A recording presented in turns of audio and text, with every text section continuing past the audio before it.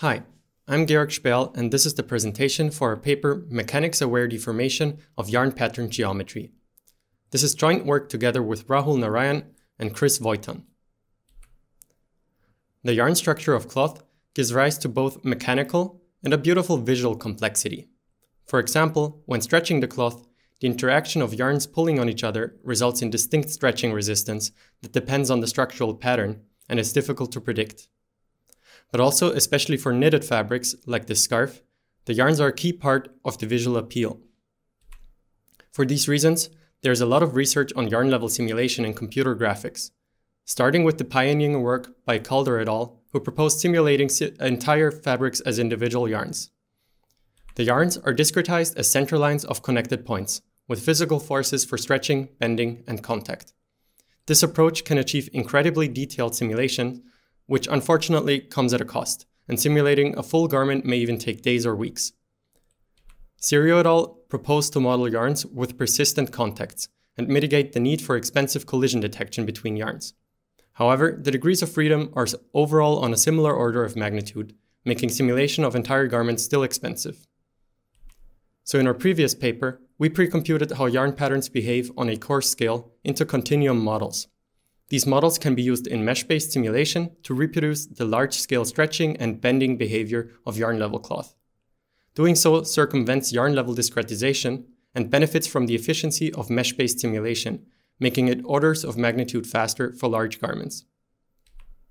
But while we were able to reproduce key mechanical behavior of the cloth, we lose beautiful yarn-level detail. We would like to combine these two things, the efficiency of mesh-based simulation and the detail of yarn-level geometry we can think of a couple of ways how to do this. One way is texture mapping. Working with periodic patterns, we can simply make an image projection of the yarn geometry and tile this image over the mesh. Quite clearly, this doesn't hold up for close-ups or large yarns. It both looks too flat, and also when the cloth is stretched, the entire texture stretches with it, which arbitrarily deforms the width of the yarns. A better approach would be embedded mapping. Assuming that we have an animated deformed mesh on the right and the flat reference layout on the left, then we can tile the periodic pattern over the flat layout, very similar to texture mapping, but instead of an image, we tile the actual yarn geometry itself. Then we can simply transform the yarn geometry, for example using barycentric coordinates of each yarn vertex within its associated triangle, and map it from the undeformed version of the triangle to the deformed version of the triangle. The thickness of the pattern is mapped by the mesh normal. And with this, we easily convert the cloth mesh into 3D yarn geometry. Compared to yarn level or even mesh simulation, the cost of mapping the geometry is negligible, and it's also trivially parallel and stable. This type of approach was for example used by Montazeri et al. for rendering woven cloth. And this can work very well for stiffer cloth, but in our knit ex example here, we see that stretching the mesh also scales the distance between yarns. Instead of the yarns tightening up, they're not even in contact anymore. What we want is a mechanics-aware approach, adding local yarn interactions back based on the cloth deformation and in a way that is consistent with physical simulation, but with the efficiency of the embedded approach. In this case, the yarn should tighten when the cloth is being stretched, similar to the real-life footage from before. And so the question is how can we get this if we just have deformation information on the scale of the cloth mesh? We settled on a data-driven approach. With our previous method, we took periodic yarn patterns and computed how the yarns adapt locally subject to different large-scale deformations, for example by tightening. We then measured elastic energies to fit a mechanical model per pattern for mesh simulation. But this periodic pattern deformation gives us exactly those local details we want, and we can instead store the deformed yarn geometry itself. Now we can combine this with embedded mapping by interpolating and adding the pre-computed local detail depending on the cloth deformation which makes the embedded approach mechanics aware. To give an overview of our method, we first have the pre-computation phase, where we use physical simulations to pre-compute the response of a tiny patch of a pattern to different deformations. Since the embedded mapping already takes care of the large-scale deformation of the geometry, we extract only the local yarn displacements. In the online stage, we start like the embedded approach, by tiling the periodic pattern over the undeformed flat layout of the cloth corresponding to individual garment parts, and then mapping it to the deformed configuration. We also illustrate these steps with a representative stretch triangle.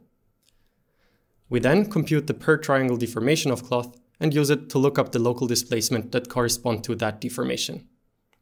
We add those local displacements to the undeformed layout and then perform the standard embedded map to get the combined deformation of yarn geometry. All operations on the yarn geometry after the initial tiling are trivially parallel per yarn vertex, and we implement them on the GPU, making the method real-time even for millions of vertices. And this allows us to animate this yarn armadillo chilling in a hammock with a couple million yarn vertices. Even though we limit ourselves to periodic yarn geometries, this approach of interpolating pre-simulated local details allows us to imitate yarn level simulation at basically only the cost of the underlying mesh simulation. The mechanics-aware yarn detail is unconditionally stable in the sense that it can't blow up and it has negligible cost. In the following, I will provide details to a couple parts of our method. Starting with the pre-computation, I'll briefly review how we deform periodic patterns and then talk about an issue that arises when interpolating displacements for sliding yarns. To review our method for pattern deformation, we start with the undeformed configuration of a periodic yarn pattern whose centerline vertices we denote by capital X. We want to know how this pattern physically adapts to some large-scale deformation. If we only consider planar deformations, then we can describe this large-scale deformation as S times X, where S is some matrix encoding stretching along two directions and shearing. S is constant over the entire pattern, meaning that it moves all vertices uniformly, analogous to what we saw for embedded mapping. And we'll see a bit later in the presentation why in-plane deformations alone are enough here. Then the final vertex position after physically adapting to S can be expressed as lowercase x, which is equal to s times x plus some displacements u. And we want to compute these displacements u such that the yarns are at equilibrium for some input deformation s. This basically amounts to Newton-Raphson optimization for minimizing the total elastic energy E of the yarns, modeling stretching, bending, twisting, and collisions of yarn segments. This optimization should preserve the overall deformation S. We can express this by saying that the average gradient of x should be equal to s. With some simple manipulation, this can be transformed into periodic boundary conditions, where the displacements u plus on one side should match the displacements on the corresponding other side. Turning our attention back to the new method, since our, in the online phase the embedded mapping takes care of the large-scale deformation, we extract only the local displacement delta x, from the optimized relaxed configuration, which we compute as S inverse times U. In other words, we transform only the local displacements U back into the undeformed frame by applying the inverse of the large-scale deformation. With this, we effectively create a database from deformations S to displacements delta x.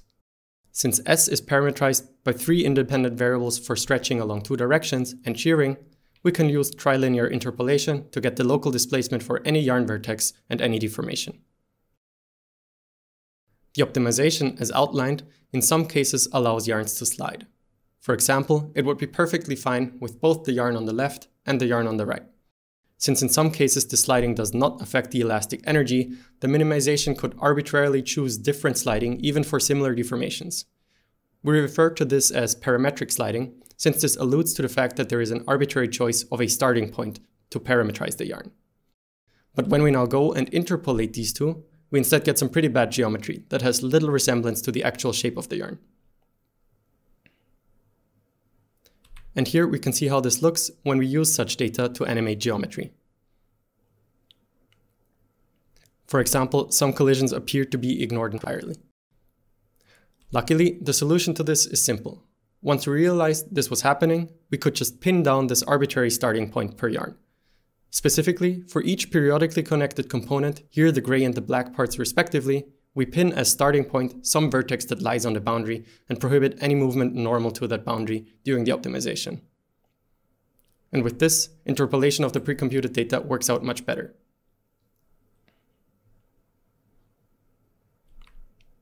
This concludes the discussion of the pre-computation, and next we're going to look at the online stage. Specifically, I'll address two ideas about using and modifying the deformation with which we look up local displacements. One for using information about mesh bending when we've only pre-computed data for stretching, and one for limiting yarn buckling during compression. For each triangle of our animated mesh, we can compute its stretching and shearing deformation in terms of the first fundamental form, To look up local displacements, we first interpolate this deformation data to yarn vertices from nearby triangles, and we then convert it to the lookup deformation S, and finally interpolate the displacement data. However, it turns out that for thicker patterns, stretching information alone is not enough. Here, I'm toggling back and forth between yarns displaced when using only stretching information versus including bending information. We can see as a difference that yarns tighten a bit more in curved regions at the top when bending data is available.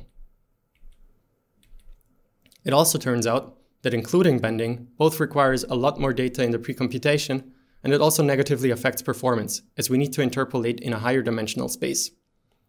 Luckily, there's an approximation we can use that allows us to incorporate bending information while maintaining only planar deformations in the precomputation and lookup. In addition to the first fundamental forms, we also compute second fundamental forms that encode bending for each triangle and similarly interpolate them to the yarn vertices.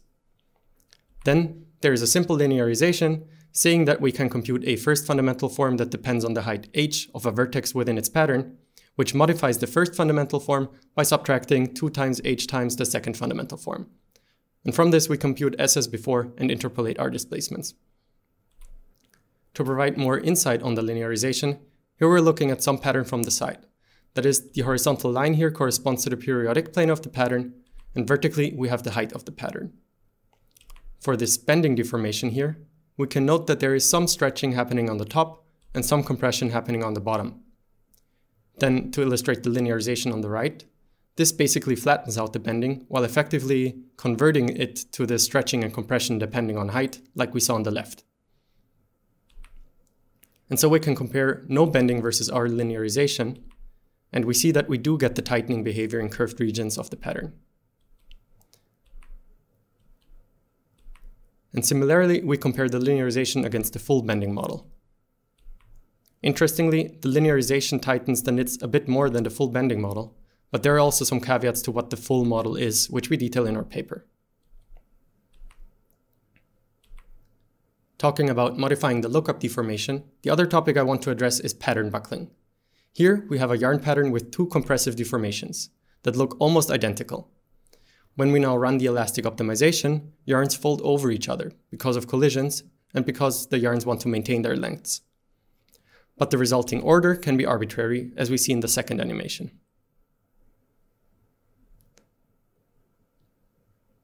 This bifurcation behavior can lead to undesirable popping artifacts when we use it naively as shown here.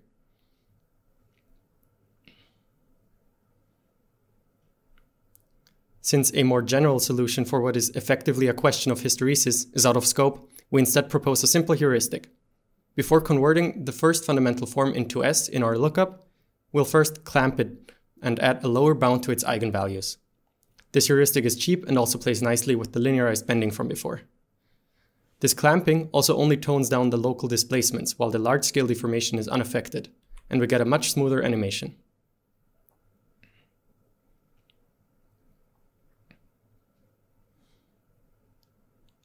And once more at the same time.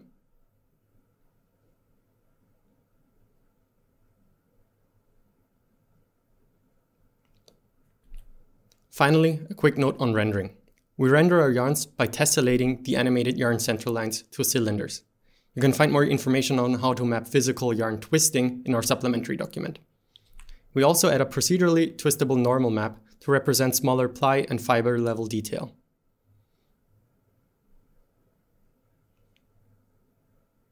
Alternatively, one might consider the real-time fiber rendering method of Wu and Yüksel, or the method of Montazeri et al. for accurate path tracing. Let's now take a look at a couple of results produced with our method. We start with the example from the beginning, of a knitted cloth being stretched.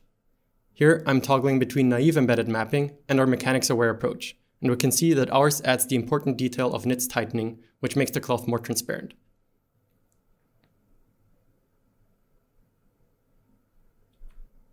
Next, we look at a similar example, but for the thicker rib pattern. Toggling between naive and ours shows how our method allows the individual ribs to flatten under stretching.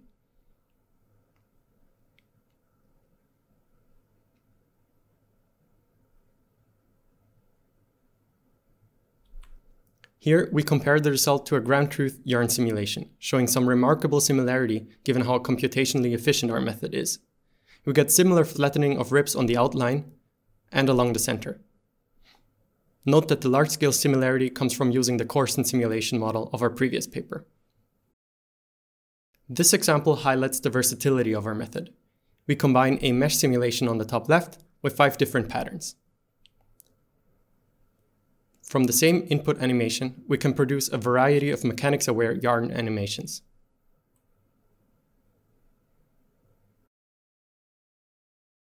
Since our yarn animation is real-time, even for millions of yarn vertices, we can combine it with real-time mesh simulation for an interactive yarn experience. Here, we're interactively controlling the pulling force on the rim of a sock to pull it over a foot, and we get all the nice effects from before, like the ribs flattening.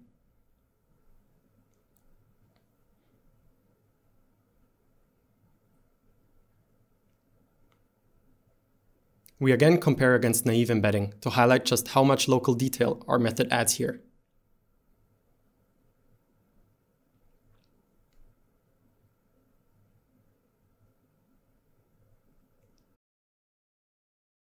Now we'll look at the scalability of our method. In this example of a sweater with over 800,000 yarn vertices, our method runs interactively and only takes around 4 milliseconds per frame, on top of a pre-computed mesh simulation and excluding rendering.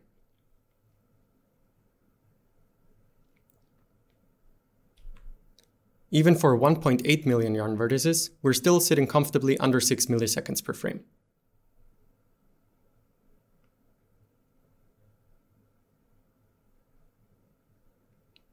And we can zoom in a bit to appreciate the yarn detail more closely.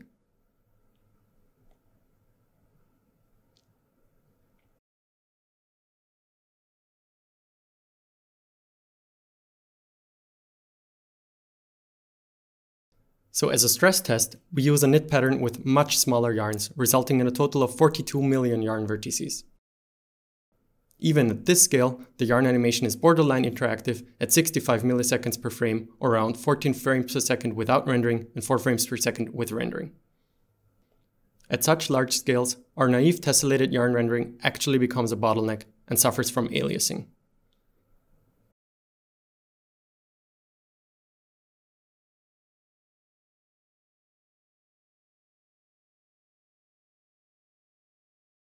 Finally, let's revisit our friend the yarn machillo. I threw this simulation together for the sake of the pun, but it turns out to be a nice example. I used automatic mesh-based methods to generate the flat layout of the armadillo, and then toyed around with cloth simulations in the 3D software Blender. And this means that I could use simple mesh-based tools like adding internal pressure to the armadillo to make it more pillowy, or quickly modifying pinned regions or stiffnesses, without needing to think about how to implement any of this in true yarn simulation or with regards to stability. Here it is animated one final time.